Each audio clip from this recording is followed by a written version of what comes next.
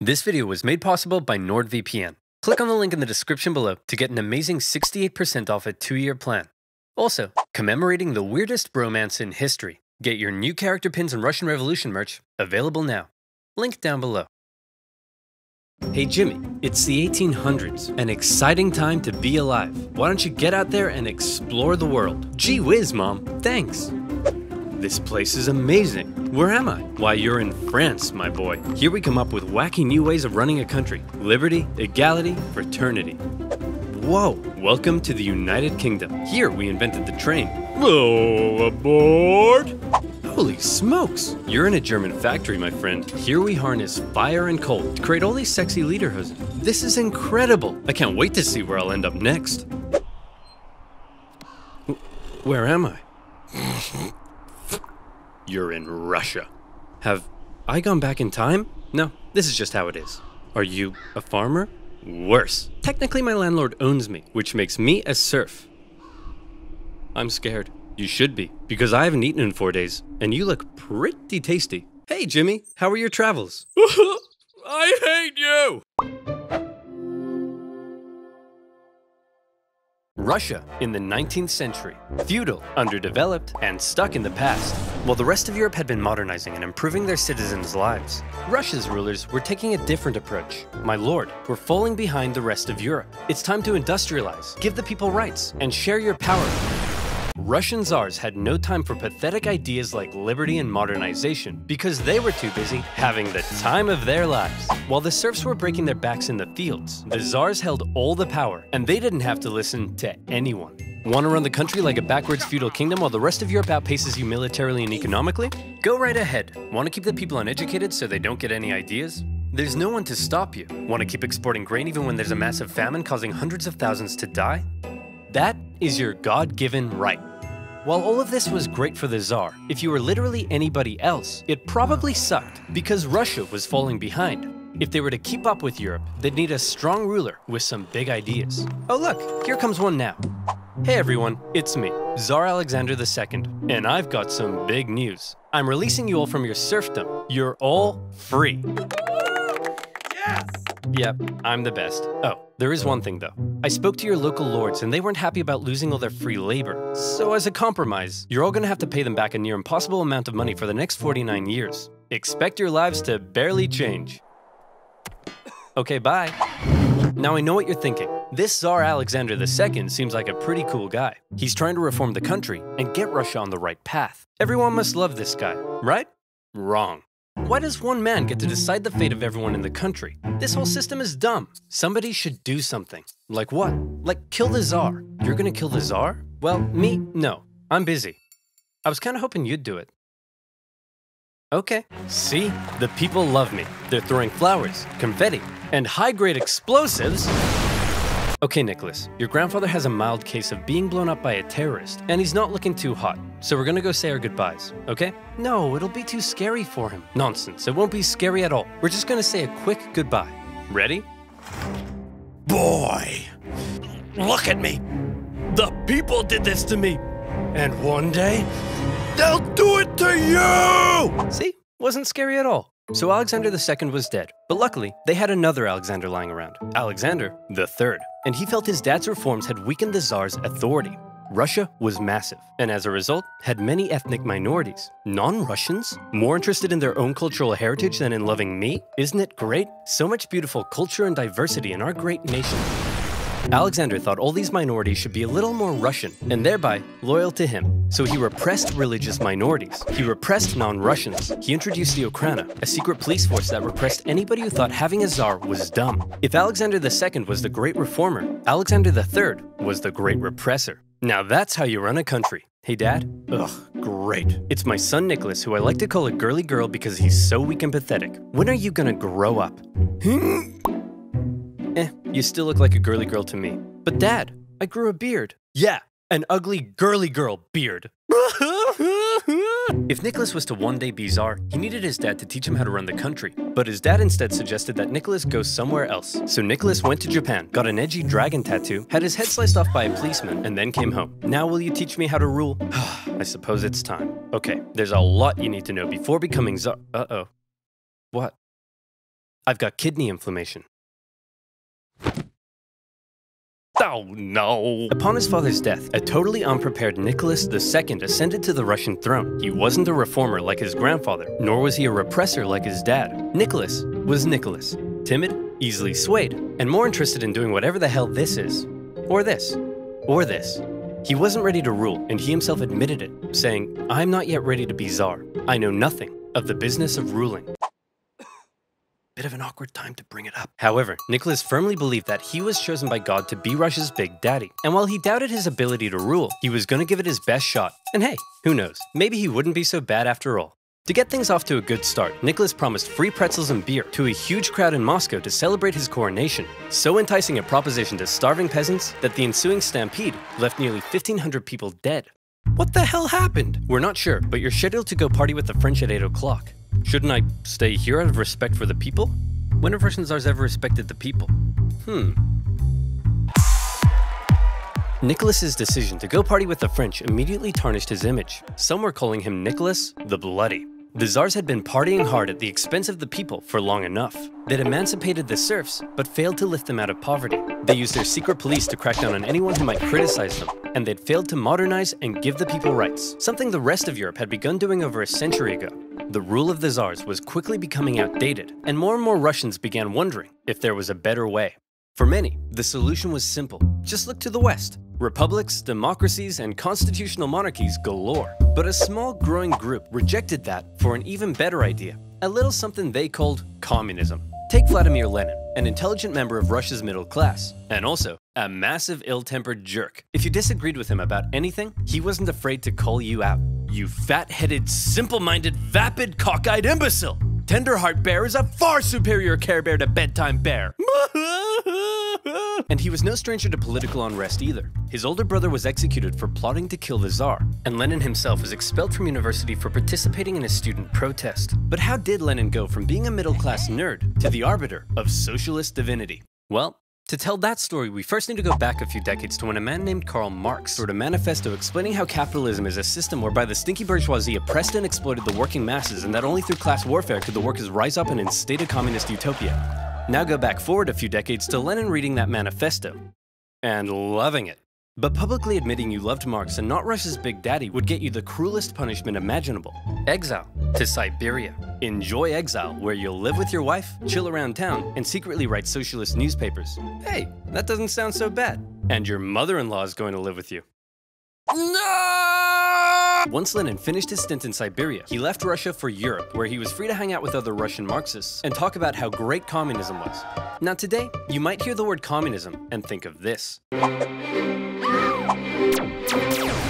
But that's not how intellectuals living under a tough czarist regime saw it. To them, communism promised a land where all were equal, where workers weren't exploited, and even people like you could get a girlfriend. So Lenin joined a party of Russian communists living in Europe, and he founded a communist newsletter that was smuggled into Russia to try to radicalize the people. However, not everyone in the Socialist Party agreed with Lenin. In fact, they disagreed with him on a lot of issues, and Lenin was so uncompromising that he caused a split in the party. During one conference, a heated debate broke out, and Lenin was unwilling to give an inch. You pig ignorant, half witted, fatuous morons! Cereal is a soup! Listen, Lenin, you're a smart guy, but you have no idea what you're talking about. We're out of here.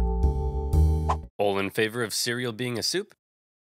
Hey, would you look at that? We're in the majority. So Lenin set up his own faction within the party he called the majority, or Bolshevik if you're speaking Russian. And the other faction became known as the minority, or Menshevik. And oddly, the majority were often in the minority, and the minority in the majority. The Mensheviks were less radical, whereas Lenin wanted the Bolsheviks to be loyal to him and his uncompromising ideas. And if you weren't loyal, well then you're gonna get a big brain beatdown. Mensheviks worried that Lenin's attitude could lead to a one-man dictatorship. But come on, does this guy look like a dictator to you? For now, Lenin remained in Europe, writing his socialist newspaper and impatiently awaiting an opportunity to overthrow the Tsar and bring communist utopia to Russia. Cool, a free hat. Who the heck are you? I'm definitely not a Russian secret police officer spying on Marxists. Oh crap, I don't want secret police watching me. Then you, my friend, should use NordVPN. Do you like having your identity stolen? If yes, you need therapy. If no, you need NordVPN. NordVPN has thousands of super fast servers in 62 countries that you can connect to to keep you and your data secure when using the web. It comes with a 30-day money-back guarantee and is now faster and more secure than ever with its brand new NordLynx technology. Have you quarantine binged all of your favorite shows on Netflix? Well, with NordVPN, you can watch the Australian version. Or is one of the greatest videos on YouTube still banned in your country? I think you get the point. You can now get NordVPN with 68% off a two-year plan for only 371 per month, plus one month free. So click on nordvpn.com slash oversimplified in the description below and get protected now. That's nordvpn.com slash oversimplified. And as always, you'll be supporting my channel. So muchos arigatos, mon petit pois. Now where was I? Oh yeah. A timid, easily swayed czar, a massive ill-tempered jerk, impatiently awaiting a communist revolution. And revolution was coming, but not in the way Lenin thought. Back in St. Petersburg, one of the Tsar's most skilled and influential advisors knew the country finally needed to catch up with the rest of Europe. Hey Nick, we really got to industrialize, get more factories, and make some, I don't know, textiles or something. Hmm, won't that change the social fabric of Russia? Maybe. Hey, isn't it past your bedtime? But I haven't had my milk and snuggles yet. Will you snuggle me?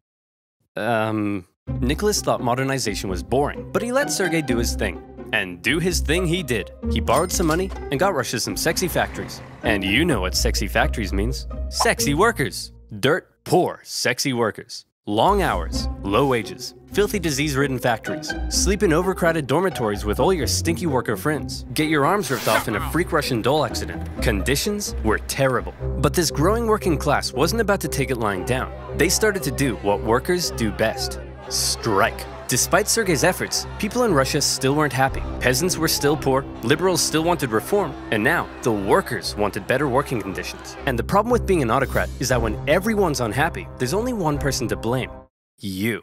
The people hate me. What do I do? Ooh, I know. Why don't we find a weak and pathetic nation to go to war with? We'll win easily, and everyone will love me again. Why don't we just try treating the people better? As luck would have it, an opportunity for war was forming in the Far East. Russia wanted to expand its sphere of influence into northern China, and coincidentally, so did Japan. But Japan didn't really want war, so they proposed an idea to reduce the tension. Hey man, we'll let you do your thing in Manchuria if you let us do our thing in Korea. Uh, I don't think so. We've got the largest army in the world. What do you have? I'm the Emperor of Japan. I have a giant mecha suit. Whoa. Cool. Nicholas and the boys didn't see Japan as a threat, so they felt they could push Japan around. But little did they know Japan had been rapidly militarizing, and when they launched a surprise attack on a Russian fleet at Port Arthur, everyone was shocked. Nicholas hoped it was an opportunity to win a quick war and regain the support of the people. Nobody seriously thought a puny Asian country could defeat a European superpower, and the Russian people were filled with patriotic spunk. Hey everyone, we're at war with Japan! Hey everyone, we're losing the war. The Japanese won, an embarrassing defeat for Tsar Nicholas. Russia had enough problems, but now it had been internationally humiliated. The public were outraged. Unrest increased. Nicholas needed snuggles now more than ever. The tension was rising rapidly, and Russia was on the verge of revolution. All it needed was one disaster to push it over the edge. And that disaster would come in January 1905 from an unlikely source, a handsome Orthodox priest named Father Gapon. Father Gapon was leading workers and their families to the Winter Palace, but this wasn't some violent uprising, it was a peaceful protest. They wanted to deliver a petition to Nicholas, which simply asked for more freedom and better working conditions. The protest was actually so peaceful and respectful that the Marxists thought it was a big waste of time. Hey Nicholas, some priest is leading a peaceful protest. Says here they want to give you a petition. A peaceful petitioning priest? I better get out of here. Nicholas had actually left the Winter Palace days earlier, and in his place, they brought in a truckload of troops, ordered to stop Father Gapon from reaching the palace. Hello, good sir, and long live the Tsar. Please, allow me to pass this simple petition to our dear father, Nicholas II. Good day to you too. Please, allow us to respond by opening fire. What began as a peaceful protest ended in tragedy. Imperial soldiers opened fire on the crowd. Around 200 civilians died, 800 more were wounded. All they wanted was the opportunity to ask Nicholas to improve their lives. Instead, they were met with bullets. Nicholas didn't personally order the troops to fire, but as an autocrat, he got the blame.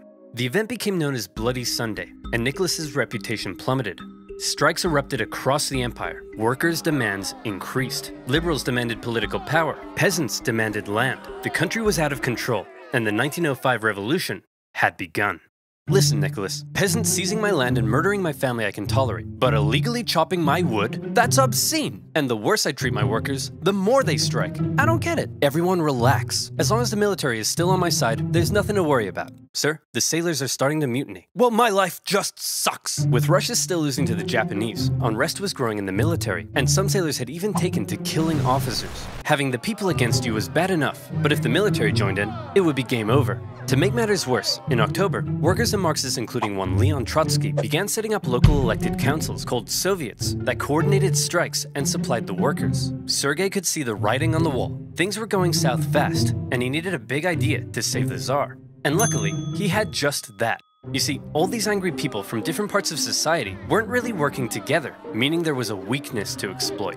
Sergei wrote a manifesto that would give the liberals an elected assembly called the Duma. It took some convincing, but eventually, Nicholas agreed to share power and have his laws approved by an elected assembly. Hey liberals, here's your stupid manifesto. Happy now? We certainly are. But what about these guys? Aren't you gonna give them what they want? Oh, goodness no. I was just going to kill them. With the liberals satisfied, and after ending the war with Japan, the Tsar brought thousands of troops home, who then dismantled the Soviets, arrested their leaders, and crushed the peasant uprisings in the countryside. And how about that pesky parliament Nicholas had agreed to share power with? Well, he then wrote a bunch of new laws, which basically said, hey, remember that manifesto I wrote and how you guys were going to approve my laws? Mm-hmm. Slight change of plan. Actually, I'm going to do whatever the hell I want, and you guys are going to shut up. What? The people won't stand for this. People? What people? You know, this is why people don't like you. And just like that, Nicholas had survived the 1905 revolution. But wait, a revolution? In Russia? Where was Lenin? Well, Lenin and his communist pals were still in exile. He tried desperately to radicalize the uprising, but all he could do was watch. As the movements failed to organize, the liberals sold out the poor, and the Tsar outplayed the people. Furious, he believed Russia had missed a great chance for a real revolution. From now on, he felt the only way left was an armed revolution by the workers. Watching the events of 1905 unfold, Lenin learned a lot. The Tsar, however, would prove to have learned nothing. After the 1905 revolution had failed, the Tsar's new top man was Pyotr Stolypin, and he had big ideas to prevent any more chaos. Step 1 Reform agriculture. This'll make the peasants love you. And step 2 uh, will kill anyone who doesn't. To discourage any more revolutionary ideas, Stolypin began to crack down even harder on the Tsar's opponents, and thousands were sentenced to death. The noose even earned itself a new nickname, Stolypin's necktie. I don't get it. Oh, I see, because it goes around my neck. That's so funny. But despite the oppression, many positive reforms were also being made, and the Russian economy even began to improve. This was a problem for Lenin. If the people weren't suffering, then they wouldn't support a revolution. Still in exile and lacking funds, the Bolsheviks simply weren't in a position to do anything. Luckily, it was around this time that Lenin met an incredibly handsome Georgian with your second favorite historical mustache, Joseph Stalin. Lenin and Stalin met at a communist convention in Finland, and Lenin liked Stalin because he was a real go-getter and was great at fundraising for the Bolsheviks. And by fundraising, I mean kidnapping, robbing, extorting, bribing, ransoming, assassinating, prison breaking, stealing, bank raiding, executioning, and stealing again. Hey Stalin, the Mensheviks aren't so hot in all this stealing, but we still need money. So the next time you do a big heist, just do it quietly. Okay, quietly. Got it. If this isn't quiet, I don't know what is. Stalin's wacky antics eventually got him exiled to Siberia, but he had established himself as a big balls Bolshevik. However, no amount of Bolshevik balls could stop what was happening. The Russian economy was making a recovery. For the Tsar, things were looking up. This is great. All Nicholas has to do is sit back and not mess anything up. Hey everyone, big news. I'd like to introduce you to my new best friend. He's a crazy, drunken, beardy, horny, scandal ridden magic wizard man, and he smells like a goat. We're screwed. Rasputin a dirt poor peasant from dirt poor nowhere. But unlike all the other dirt poor peasants, Rasputin had holy healing powers. And when this holy mystic wandered into St. Petersburg, people began to notice. He quickly became famous, and word of this mystery man and his healing hands made its way to the royal palace. The appearance of a holy homeless healer was of great interest to the Tsar and his wife. As far as royals go, they weren't that inbred, but they were just inbred enough for their son Alexei to get hemophilia. Or in layman's terms, Mamma mia, that's a lot of blood. Knowing Rasputin could heal people, in 1906, Alexandra asked for Rasputin to come and see if he could cure their son. And crazy as it sounds, Rasputin did heal Alexei, possibly by taking him off his doctor prescribed aspirin. Having seemingly done the impossible, Rasputin became very, very close to the royal family. But having a crazy homeless wizard man hanging around wasn't a good look for the Tsar, because Rasputin was freaky. Not only was he a big fan of alcohol, but he'd also throw these crazy parties with Russian nobility, where he'd and all night long, and then he'd his whole head hypnotic eyes and nobody knew how the goat got on the roof. Initially, the press were banned from talking about Rasputin, but eventually, the ban was lifted and the tabloids went to town. The whole thing was a huge scandal, and everyone was freaked out that this guy was influencing the Tsar and his wife. Nicholas could have spent this period of relative peace improving his image. Instead, he spent it doing this. But as weird as the whole Rasputin thing was, so long as the economy continued to improve and the people's lives kept getting better, maybe Nick would be okay. Maybe there would be no more revolutions. Maybe this video could even end right here. Or maybe things were about to get worse. A lot worse. You see, the year is 1914, and that means it's time for World War I.